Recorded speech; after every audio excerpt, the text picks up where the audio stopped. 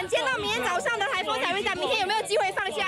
寒露来了，除了风雨越来越有感，另一个有感的就是北北机能不去上班上课。就有机会连放四天以防台为主。今年八月三号放台风假，终于碰到平日的周四，五六日是周末。那八月四号能不能有台风假？这样就能一连休四天？因为过去几年不是台风没来，就是台风都挑周末来。二零二一年九月十二号的灿数台风，北北基同步停班停课一天。适逢星期天，多数人没感觉。而碰上连放两天的是二零二二年九月的轩兰诺，台北正常上班课，新北停班课，但那两天是周末。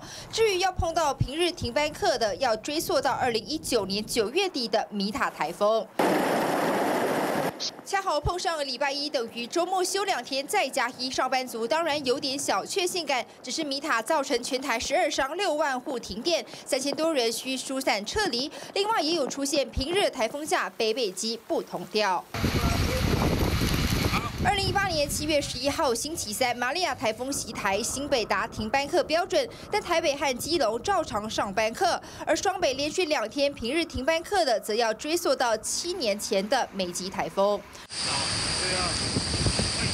零一六年九月二十七、二十八号袭台，梅基虽是中台，但当时全台造成七死、六百二十五伤、四百一十万户停电，农业损失超过二十五亿新台币。放台风假固然开心，但防台防灾工作也要加紧，没事别随便出门。TVBS 新闻刘立成、李作和刘婷婷台报道。